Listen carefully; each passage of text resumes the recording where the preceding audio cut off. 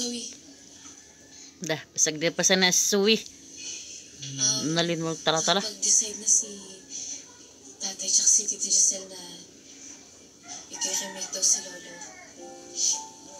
Tapos bukas, magkakaroon ng service dito sa ospital para ma-honor si Lolo. Hmm. Dapat imbestigahan na si Carlos kay tudlo man. Panginoon.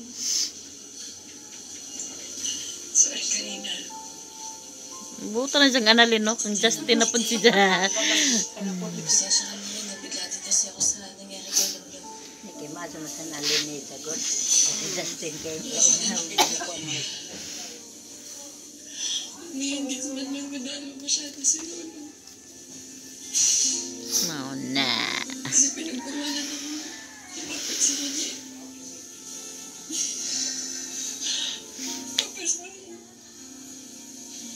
Malapitan ko na naman siya. Doktor magi ko ano sa rin.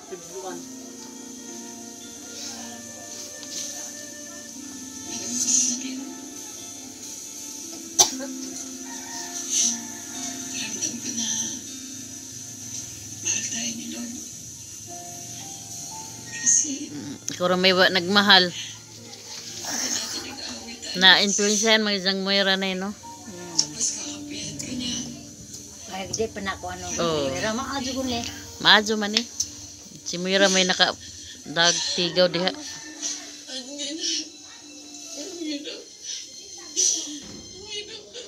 Oh, yun, tenisti ka ba?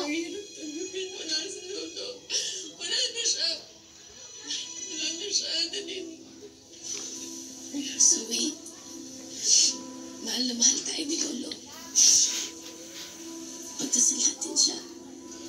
Dasan, hindi siya lang alaman. Patay naman. Patay na patay. Dasan ang paliwaan naman. Goodbye, Pipi.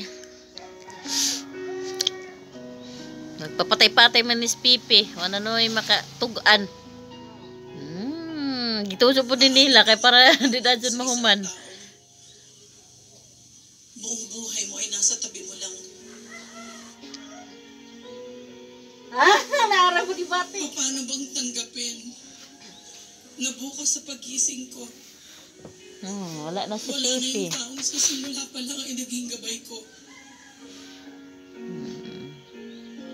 Na, may nakaamong kanadya. Si Moira.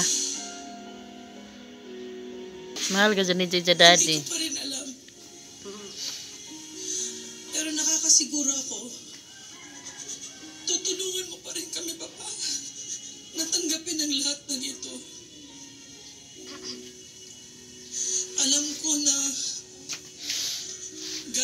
Guwapa ni Giselle.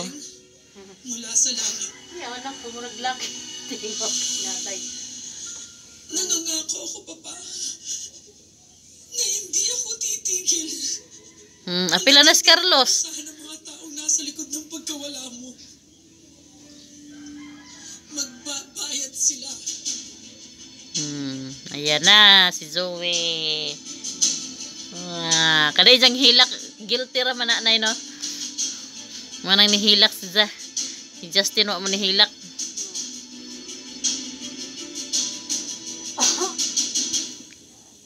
Mahal, mahal na mahal kita, Papa. Maraming maraming salamat sa lahat.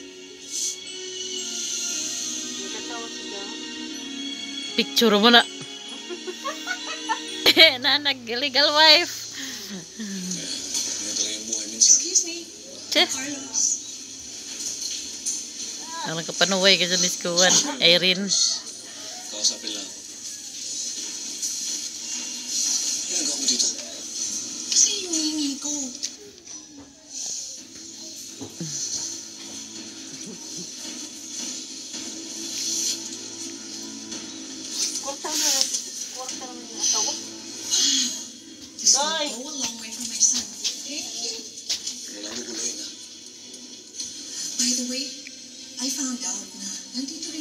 Isa pang ex ng asawa mo. Sino? Si Michael? No, doctor siya. Si Doc RJ Tanyang. In fairness, ang gwapo niya. Pwede ba umalis ka na? I know that face. Ex-girlfriend mo kaya ako. Patay. Patay! Girlfriend. Ah, Ex-girlfriend ko kay ni Doc Carlos?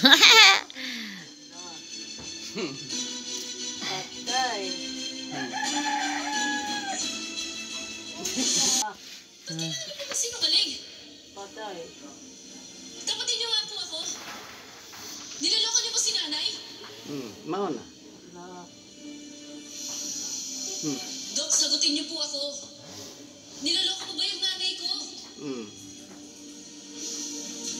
ala! Madeline, ano nangyayari dito? Nay, Nay, alam niyo po ba nagsisinungaling po sa atin si Doc Carlos? Di ba sabi niya po pasyente niya dati si Mama Irene? Bawa na si Ja. Ba na, pero pa Indoro. Po? Hmm. May gusto sila doon. At alam ko rin na magkikita sila para ibigay ni Carlos yung pera kay Irene dahil humihingi siya ng tulong kay Carlos. Mahal na mahal ng tatay mo ang nanay mo. He's a one-woman man through and through. Ang bait-bait nito. Lynette, maraming salamat for being understanding. And I'm sorry if I lied to you. Ayun, ina siya si... Siga-siga na kayo. Annalyn, honestly, na-insulto sa mga sinabi mo. Ah, rangga insulto ha. Ano, sakit ng bago.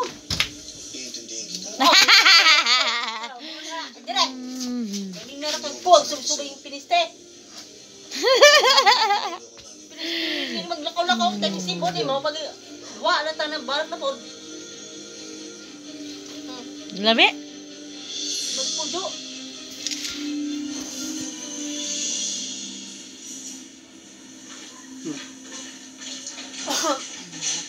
Bilisan ko lang. Ako na bahala dito. Balik ako daw, balik ako. Taga na po si Jao. Tay nas Moira. Ikaw na yung masunod na ka.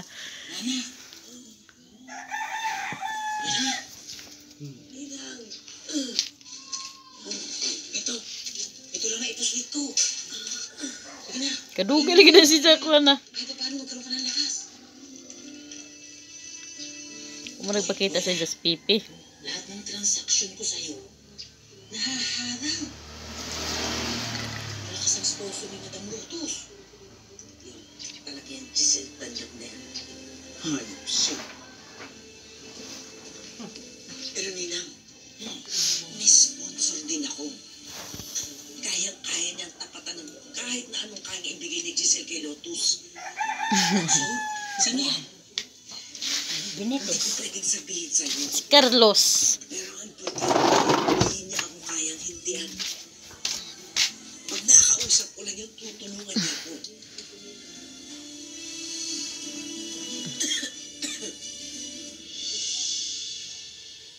Hmm. Si Jao? Si Carlos. Asal si ko man Doktor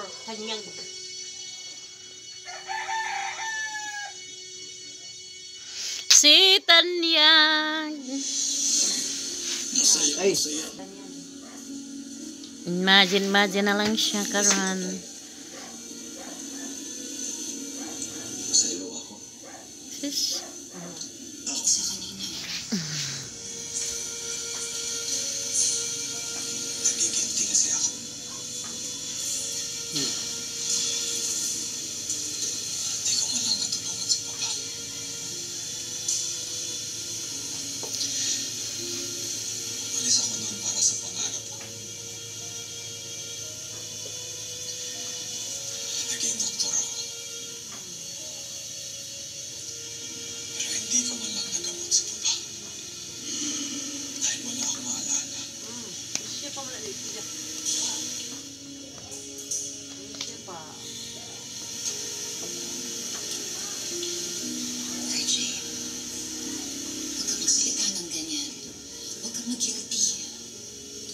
Kasi wala ka naman kasalanan eh.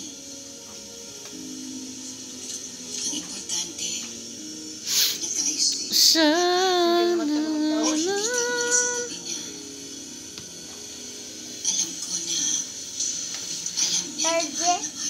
RG.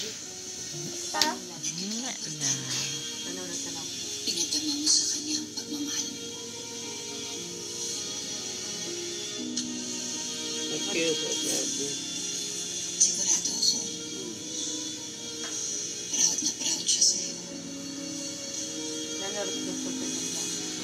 See? Ha, Isa isa. Isa ganito ba dito? Nabi ko si Dr. Tanda. Hindi, yung asawa ko. Ha? Nana, nana. Nana, kuan. Sulsulira. Sabi pa na, kana sabi